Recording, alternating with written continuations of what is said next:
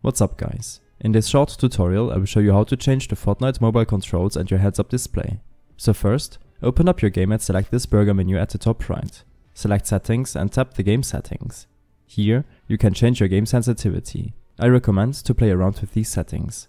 Below, you can change the control options. For example, if sprinting will cancel the reload animation, aim assist which you should enable, and auto pick up weapons. Don't forget to apply your settings. Next, open up your HUD layout tool. Here, you can change each button size and position on your screen.